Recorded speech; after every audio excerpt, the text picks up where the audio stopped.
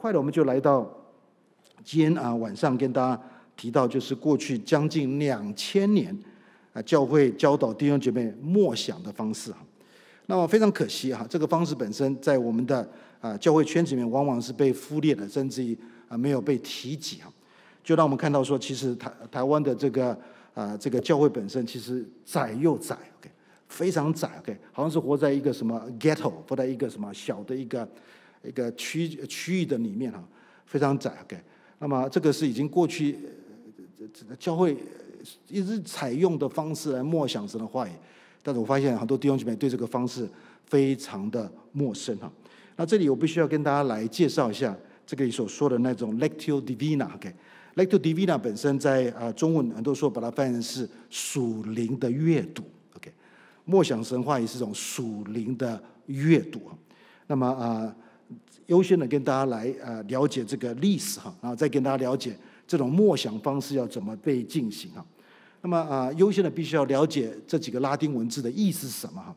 啊，这个呃这个灵乐啊啊，就是来自于那个拉丁文 lectio divina，OK。那 lectio divina 本身就是啊 lectio 啊就是读的意思哈。啊，那么啊像在呃早期教会他们有这个 lectern，就是那个读经。的人要在一个啊，像一个什么讲台上读这个啊，这个圣经哈。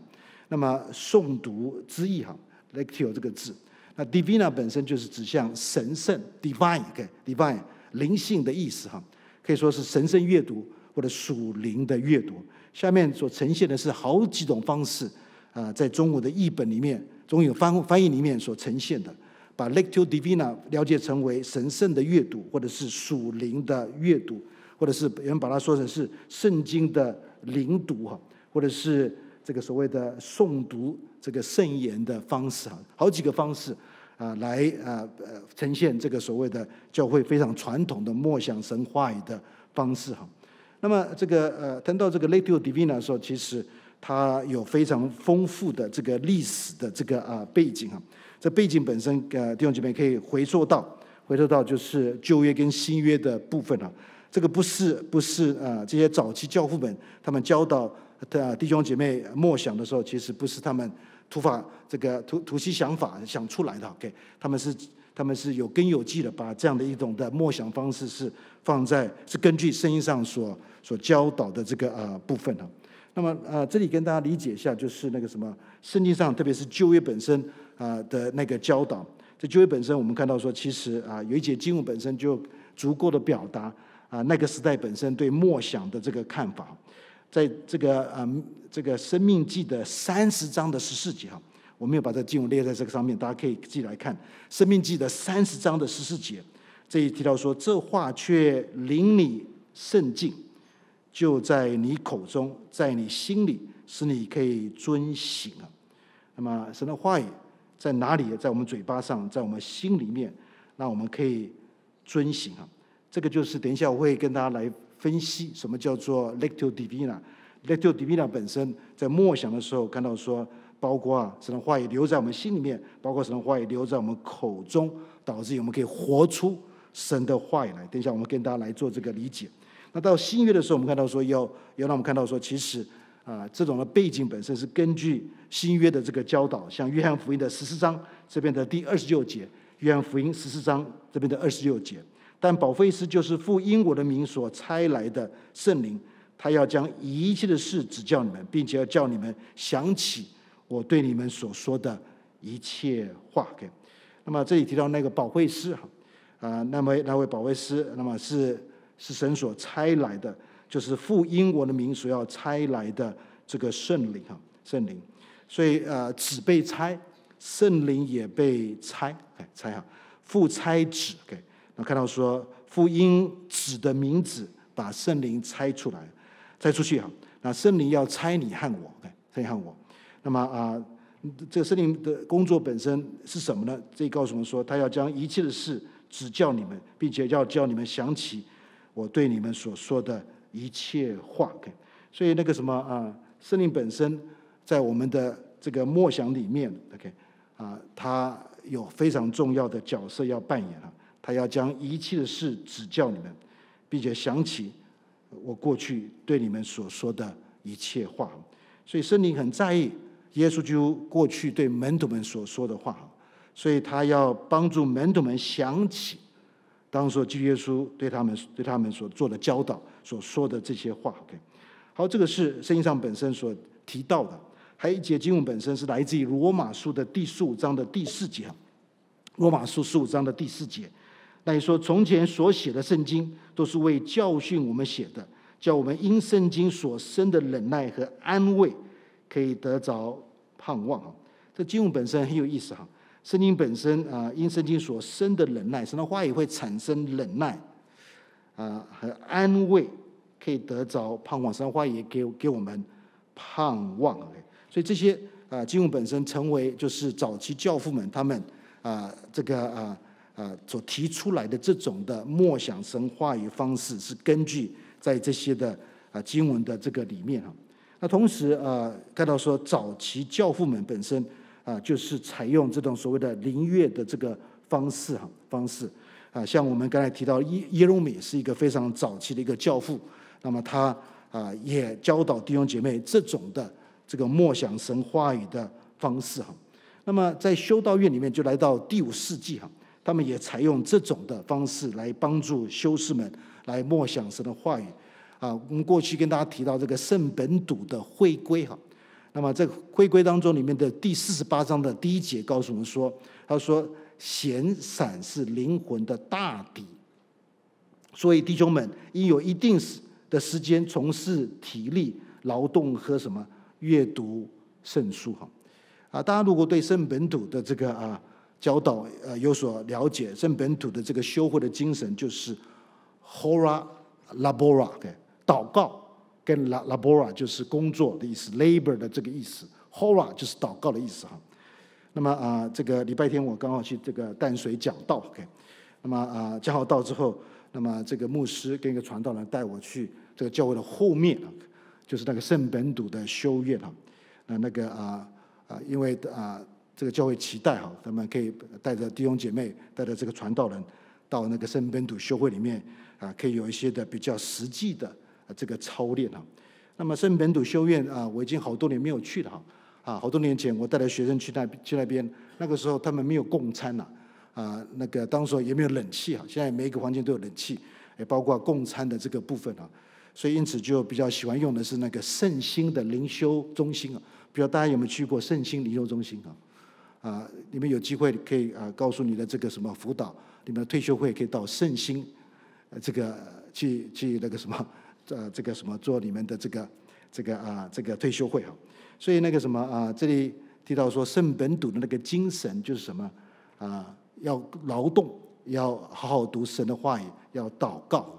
所以在在这个圣本笃修会里面，他们的这些修士们。跟这个修女们本身，他们自己要种菜。我听他们讲啊，种菜啊，像有一次在德国，我去啊一个很有名的在莱茵河旁边的一个修道院哈啊，啊他们那个修道院本身自己会做面包哈啊，面包本身那个很棒的面包，这个有机的面包哈。那在这个啊，天天都有一大堆人排排着买这个修道士的所做的面包哈，面包哈。那么应该修道士本身不会。啊，放一些不需要放的东西在这个面包里面吧。OK，那么还有一些修道院本身所酿的这个红酒或者是白酒也特别的好，好，好，好。所以那个什么啊啊，这条这个圣本土修会他们的一个很重要的精神就是阅读圣书，默想神的话语。那么啊，谈到这个呃这个灵乐的时候，我们就来到这边的第十二世纪。那么啊，特别在这个啊十二世纪的那个什么法国的加尔都西会哈。这个 Carthusians，OK，加尔都西会里面，他们所提倡的就是这个灵乐的这个部分。那么啊，这里就透过那当时一个吉格，他的他的一本书里面《隐修者的阶梯》哈，他特别谈到就是等一下我会跟大家介绍的那个灵乐的啊这个啊部分哈。那么啊，其实加尔都这个西会本身，他们谈到静默，谈谈到十二种的静默。我们上上礼拜没有时间跟大家谈哈。就是他们谈到静有十二种，给非常深刻的啊来教导啊一个人怎么在神面前安静下来，导致我们可以更多的聆听神的声音哈。其实大家看一下啊，这啊他们怎么说？你借着阅读去找，都要在默想中找到；你借着祈祷去去啊敲门啊，便啊要在默观中给你们开门。OK，那么这里就是等一下会提到那个灵乐本身那个四个部分啊，四个部分啊，透过阅读啊，透过默想，透过祈祷，OK，啊，这看到说开门那个行动的这个部分哈，敞开的这个部分，所以这里就明显告诉我们那个四个这个部分。然后这个时候我就跟大家来介绍一下这个四个部分的这个部分哈。那么啊，谈到这个时候之前，我必须要跟大家啊来理解一下，就是这里有两种阅读的方式哈，啊，就是一种阅读方式叫做知识性的阅读，一种方式叫做啊生命塑造性的阅读哈。那么在座的朋友们呃比较熟悉的是前者，比较陌生的是后者，OK。那么如果我们习惯前者，我们就很难 OK 进入后者啊，所以我们必须要常常操练后者。因为前者我们常常操练，可能天天都在操练这个所谓的知识性的阅读哈。那到底知识阅读本身跟这个生命书的阅读有什么不同啊？这里有呃一个表格帮助大家来区别一下这两种不同的阅读哈。那么如果不掌握这个的话，我想我们很难进入有效的默想的。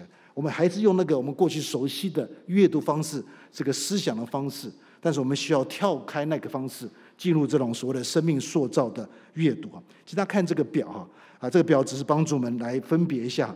那么在这个知识性的阅读里面，那个主导者就是我，那么啊，比如说我在这个学校里面研究，OK，那么我读的书本身是我来主导嘛，OK，那么啊，这个塑造性阅读本身就是圣灵来主导，圣灵是那个宝会师，要引导我们进入真理，要提醒我们耶稣基督所说的话，OK，所以啊。在圣灵引导之下来读神的话语，OK？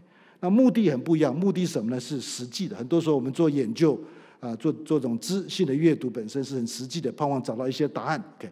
那么啊，了解一些的事情，呃，这个是我们所采用的方式哈。但是塑造性的阅读本身是心灵的塑造，OK？啊，它是让我们生命更丰富、丰富哈。还有呢，就是速度上也有分别哈。这个知性阅读本身速度是速度越快越好，啊，甚至我在过去也呃修过这种的速读的课，OK，啊，在短时间里面可以大量的阅读哈。那么，但是生命塑造的阅读本身是读越慢越好，慢慢读，慢慢读好。那么应用本身是呃这个知性的阅读本身应用当然是为了知识了，OK，知识。但是塑造性阅读本身应用是为了生命的更新。拉近我们跟神的那个关系哈。那知识看到说，知识阅读本身啊没有要求什什么知识啊，可以趴在床上啊读也可以哈。那么啊，但是这个塑造性的阅读本身有知识来帮助我们，可以集中那个注意力。OK，像我们啊做的比较直一点，不要呃这个什么啊这个什么翘这个欧郎腿。OK，那么这个啊对知识有帮助哈。那么啊，当然这次我们学习本身没有谈到。呃，知知识的部分了。其实那个圣经上光谈祷告就有好多不同的知识。圣经上讲的，耶稣就在可西马年祷告的时候，他整个人趴在地上，弟兄姐妹，趴在地上祷告哈。那那个那个那个知识本身有它的一个啊一种生命表达的啊意义在里面。那么知识阅读本身的这个结果是什么？就是没有责任。啊，你有这个啊读了这个好，你不需要负太多什么责任了。那么这个生命塑造阅读本身就是啊责任是愿意。开放让神来带领你哈，好，这个是一个表格的。那后面还有一个表格，本身其实那个什么跟上面的表格有点重复，但是是啊要强化大家对这两种阅读的这个区别的理解。那我很快的跟大家来走一下哈。知识阅读本身是呃为了知识，所以读越多越好，越快越好。OK，那像在中国，我们知道说其实啊他们那个一天要求弟兄姐妹读二十章、三十章的这个经文哈。那么啊，这个是一种阅读方式哈，但是呃，这个塑造性阅读本身是读越少越好，越少越好。如果每一个字都是来自于神的口，神的付出的话，我们不能漏漏掉一个字，连一个字都不能漏掉。OK，那么啊，很多时候我们快速的读，很多东西都就漏漏掉了。OK，那么啊，知识阅读本身是直线式的阅读，什么意思呢？从第一章进到第二章到第三章到这个书的啊结尾啊。是直线式阅读，是一种搬动书签的阅读的方式啊。很多教会本身为了鼓励弟兄姐妹读经，就每一年的开始，几乎每个教会都做这个事情啊，就告诉弟兄姐妹，我们今年开始，我们这个啊年初的时候开始，我们从创世纪开始读阅读，那么啊，那么啊，这个读完啊哪卷书，就给他啊这个礼券去吃这个什么，吃这个什么啊啊这个天堂什么，这个这个什么享食天堂，OK 啊，所以那个什么啊。所以啊，这个神化吃饱了，OK，这个肉体的这个这个这个也可以吃饱，OK，呃，满足的肉体的需要。那么啊，所以那个什么啊，教会本身都会有这样的一个一个啊呃做法，会把那那个礼拜所需要读的经文列出来，OK，列出来。啊，在美国有些教会非常有钱哈，啊，告诉一些年轻人，你把这个圣经读完，就送你一个 iPad，OK，送你一个吉安特的这个脚踏车哈。那么啊，所以它的是一种直线式的阅读哈。但是生命塑造性的阅读本身是焦点放在深度，不是只是大略的了解。OK，深度。那么啊，那个知识阅读本身是掌控那个文本。你可以用这个文本。OK，啊，那么呃，这个塑造阅读本身是让文本来控制读者。弟兄姐妹，那个方向是不一样的。OK，一般的知识是你要去摄取知识，使用这个知识，控制个知知识的这个内内容。但是生命塑造的阅读本身是。圣经要来控制你，圣经要来挑战你，OK？所以那那个那个什么，圣经的价值观要来啊指引你的价值观啊。所以那个文本在控制那个读者。那么啊，知识阅读本身是文本是对象，OK？是你生命之外的那个 object 那个对象。但是那个生命塑造的阅读本身是读者是学生呐，OK？文本是老师了，OK？神的话语是老师，我的读我我读的人就是受教育神的话语的这个部分。那知识阅读本身是分析的、批判的，同时评断的。OK，那么相对的，就是生命塑造阅读本身是什么呢？啊，愿意以爱来面对文本啊，你不是批判他。如果很多人常用这个例子说，圣经是神的情书，给我们的情书，那么当然你跟这个书的互动方式是很不同的哈。那个方那个互动方式本身是有感觉的、有温度的哈，不像那个知识阅读本身纯粹是非常。啊，这个什么冷漠的一种分析跟批判的方式啊，最后就是很多人读书本身是为了要解决问题比如说你想买房子或或投资股票，你可以到这个什么啊成品买一本书哈，教你怎么投资股票，怎么买房子哈，卖房子哈，啊买房子都有哈。那么啊，但是这个生命塑造性的阅读本身是对奥秘来看开放哈。那这个字奥秘什么意思哈？这个字呃我们比较少使用这个字奥秘哈。那我们知道说，其实啊，啊，神是那位会说话的神啊，啊，但是我们相信啊，圣经本身啊是神给我们的他的话语，但圣经本身没有包括所有神是谁的内容，所以有好多是奥秘的这个部分，听懂吗？啊，所以因此看到说，其实啊，神启示，OK，大概他只有让我们看到他大腿而已，他其他部分看不到。所以好多地方是我们不认识，OK，不认识。当我们读神的话语的时候，好多地方我们不不认识，OK。所以我们是对这个奥秘来开放。好，很快的就来跟大家来进一步来了解这两种阅读的方式哈。那么啊，再次跟大家了解动机塑造我们的方法，OK。我们读圣经的目的是什么？OK，那就影响到我们的方法是什么？OK。所以如果每天读这个活泼的生命啊，OK，。那么那个目的是什么呢？是为了啊对这卷书有有知识吗？还是为了要啊亲近神？如果为了亲近神，我们的这个读经方式应该有一些不同的这种进入的方式来帮助我们。那第二看到说，其实经文的意思和个人的意义啊。